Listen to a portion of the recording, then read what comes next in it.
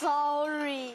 Come on, dude. Mr. Parker, stop it. You just slammed the tray all over me. 撞了我，我跟他道完歉了，他打我。Whatever he's saying, he is lying. Mr. Parker, go. Mr. Cheng, go.